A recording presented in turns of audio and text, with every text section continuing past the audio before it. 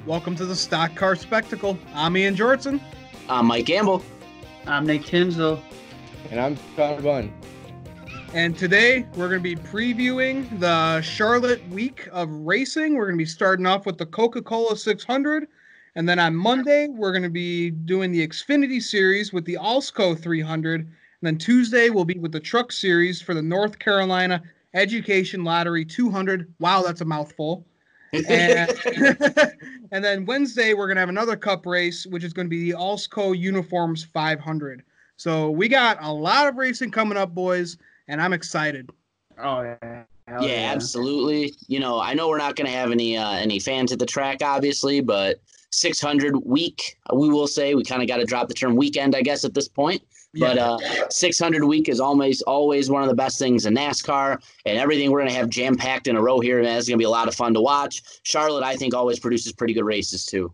And the only thing we're going to miss, our brothers over at IndyCar are not going to be hosting the Indy 500 on that day, so it's going to be a weird Memorial Day weekend for sure. And more for Connor and I, no Formula One either, so that's going to suck. Yeah, yeah, that's true. It's it's no Monaco. For sure. Yeah, I know, man. And, and I saw the uh saw the news, you know, Formula or excuse me, IndyCar's not going to Richmond this year either. So yeah, yeah that sucks as uh, well. But uh, I'm very happy. We're we're still gonna have a lot of racing on slate in Charlotte this week. Yeah, that's for sure. So boys, we start off with the Coca-Cola 600 on Sunday. Last year's winner was Martin Truex Jr. Who do you guys have to win on Sunday? Let's start off with Connor. Um, you know, I, have kind of battled back and forth with this, and you know, I, again, I think the Coke 600 is where the veterans come to play. Um, more specifically, I said last week on the show that uh, you know Darlington, Charlotte have kind of been you know Toyota track recently, where they've kind of had their handprints all over it. Um, I kind of see that going the same this this year as well. Um, for the 600, I will go with um, I will go with Denny Hamlin for the 600. I think he's carrying a lot of momentum this year. Um, that team is just very hard to beat. They seem solid. Um, so I'll rock with Denny Hamlin for the 600. Okay. Yeah. Mike, yeah. I, I, am going to mirror a little bit of your sentiment there because I think you're spot on again, Connor. I think, again, as long as we're on this little track where we show up to a racetrack, no practice, they are, they are going to qualify. So we'll get one lap on their tires to kind of see what they have for this race. But still, it was very minimal to see what you can and can't do with your car.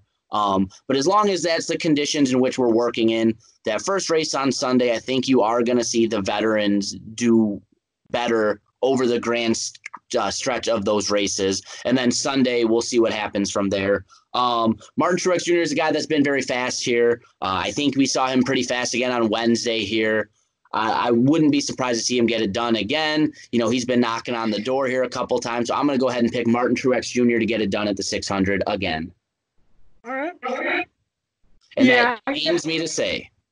Yeah, this one's gonna pain me to say because I gotta agree with you guys. This is this has just really been a Gibbs track the past few years. So you took Denny, you took Martin. I gotta take the 18 of Kyle Busch here. He won. He's won this race before, and just like you guys been saying, yeah, right. Nick picking Nick picking a Toyota, especially with that being Kyle Busch, but he the man's too good at these mile and a half racetracks. So I think this is gonna be another Gibbs dominated race. Would not be surprised to see Kyle win the 600 for for a second time.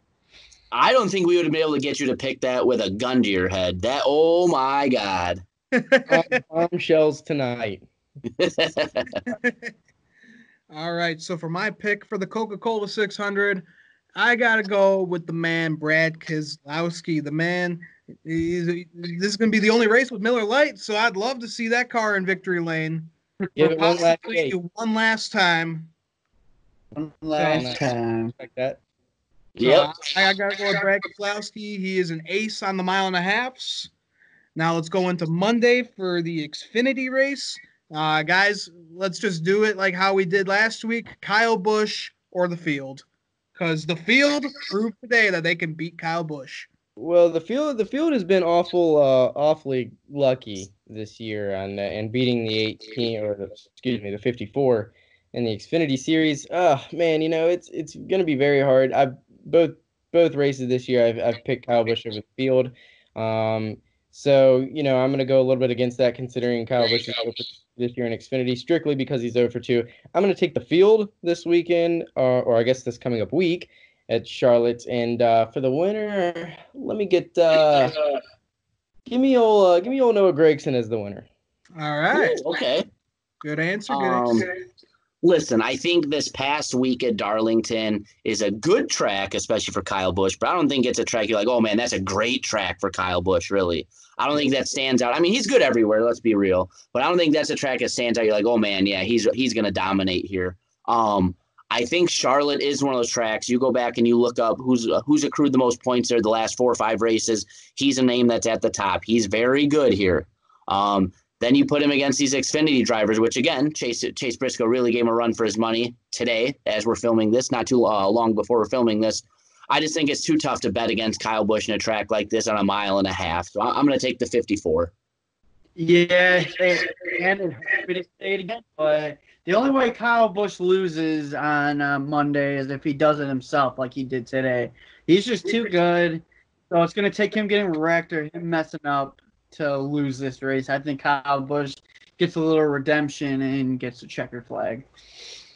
All right. Um, yeah, I'm gonna have to go with the field.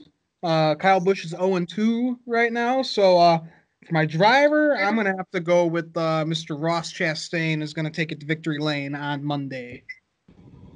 Solid pick. Solid. All right, so let's dig into the truck series, guys. Same question, basically. Kyle Busch, in the field. Um, truck series wise, Kyle, Kyle, do what? It, it, but this could be the bounty race too. This Yeah. could be the bounty race with all these cup guys entering. So you might want to throw cup guys versus the field in this one for that truck they race. say who's entered for it? Uh, Chase Elliott is for sure. Uh, Okay. Wait, he's there's a not. Couple- Are they not doing Atlanta? well, I mean, Well, this is we're the not first really sure when we're running Atlanta. Well, yeah, we are, but yeah, Yeah. what I'm saying. I mean, we're But running Atlanta, but you still have all these cup guys that are entered in the field. I'm pretty sure. Okay. Yeah. Chase for sure. We do know that one. Yeah. Um, well, for truck series, I'll take Kyle Busch in second gear all the way around the track. Um, hard to beat in truck. He's he's somewhat beatable in in Xfinity. He's damn hard to beat in truck. So I'll take I'll take him in the truck series. All right. I'm actually in this case gonna take the field. Um, reason being, if you look back at past performance here, three of the four ThorSport drivers, being Crafton, Sauter, and Ben Rhodes, have been bad fast here. Have a lot of top fives and some wins to go along with it here. Um, I'd like to think they've had the most time to work on their trucks, as uh, you know, Kyle Busch has kind of had to worry about everything, as opposed to some of these Cup drivers. So I think they're going to have a little bit of an advantage there. Um, although I think his versatility does come back and kind of even that out. But I am going to be a little bit of a homer, like I can be when it comes to the truck series. I'm going to go with uh, the field, and I'm going to take the 99 of Ben Rhodes. All right. Okay.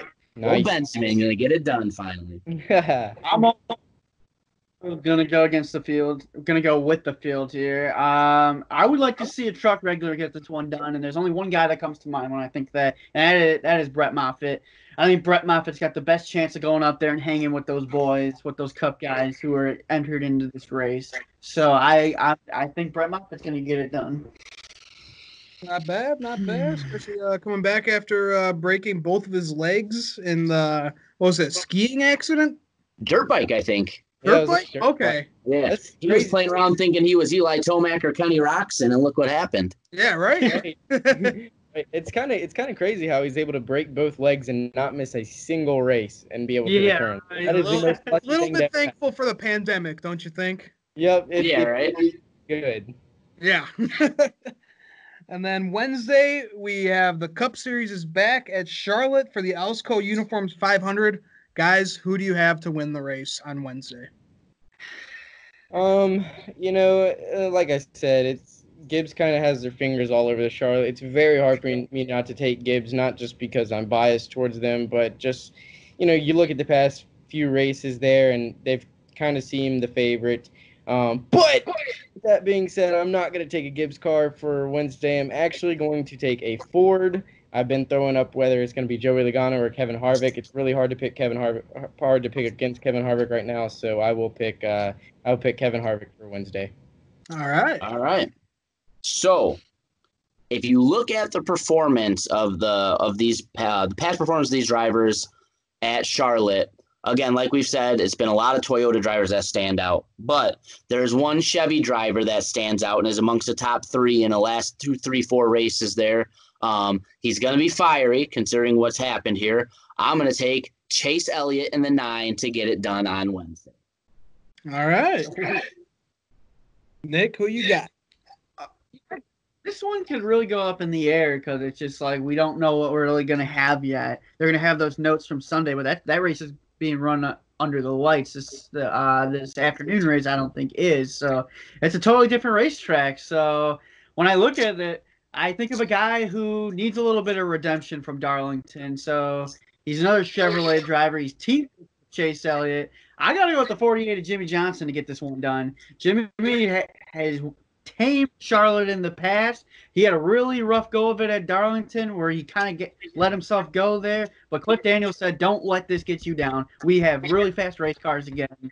So I I look at Jimmie Johnson as a threat to go win on Wednesday. All right. So hold on. Let's take a second and just reflect on the fact that in one show, Nick has picked both Kyle Busch and Jimmie Johnson. Yeah, not proud of it. But yeah. Where are somebody, you okay, somebody, dude? Yeah. We got to do a wellness check on Nick. I think that's like that's like the equivalent of like you see that stuff on Twitter. Like if I were gonna say something so you knew I was really in trouble, what would it be? Yeah, right. Just, I, was, I, was just, I was honestly just. He said he's going to take the field in the Truck Series. I was honestly just waiting on him to say little old Miss Natalie Decker. Uh, then we'd really know what's going on.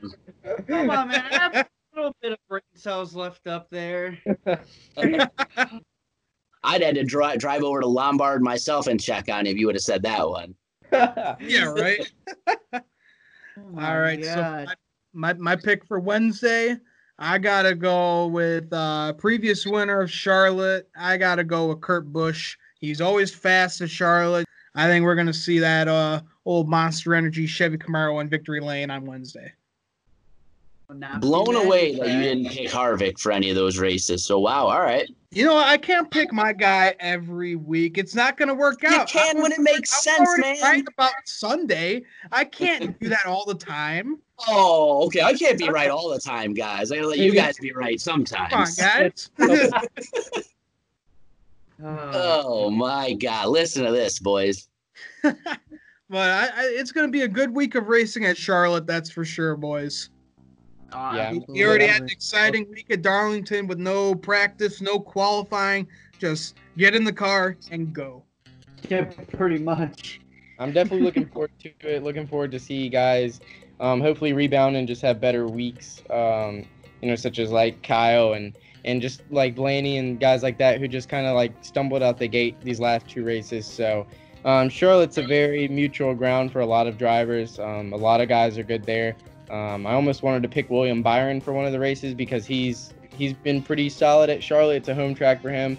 And the thing about Charlotte is Charlotte is such, you know, a good track for many of these drivers that it's really hard to pinpoint one because it seems like, you know, every year at least one race at Charlotte, you know, we kind of not get a surprise winner, but we kind of get reminded like, oh, that guy's good here. So, um, it, it definitely, it definitely should be interesting. I think you have a lot more favorites um, to pick from in the pool this week than you would opposed as the other as to other weeks. So mm-hmm. definitely yeah. and um, look forward to all the nice shenanigans and surprises that we'll see this coming up uh, week, I guess, at, uh, Charlotte.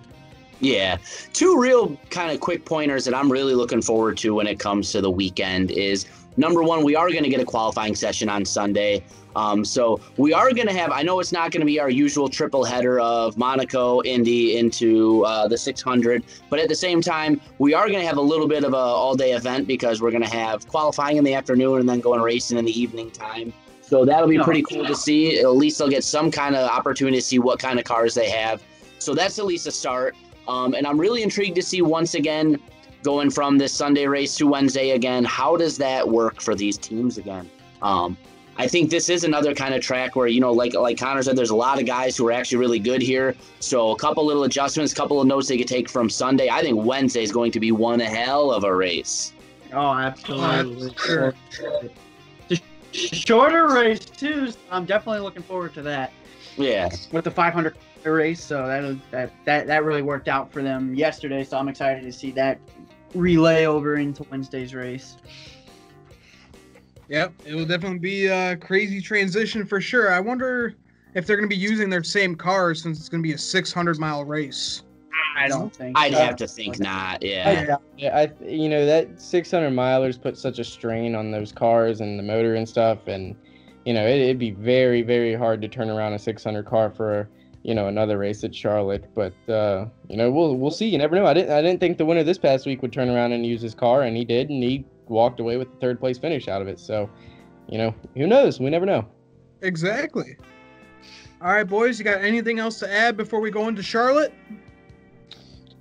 Um, just you know, appreciate you guys having me on the show again. It's always fun to be on here and uh, talk with you guys as my computer is about to die. But um, I just want to say thank you again. Looking forward to talk to you guys again next week after we do this whole three race shenanigan all over again.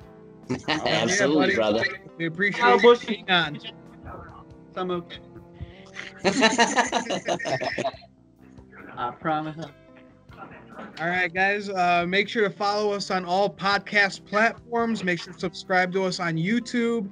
Make sure to follow us on Twitter, Instagram. Follow for the lead on Twitter and Instagram as well. Appreciate follow it. friend at Kodo's Mojo. He's got a great sports podcast. So that'll do it for the Stock Car Spectacle race preview. I'm Ian Jortson. I'm Mike Gamble.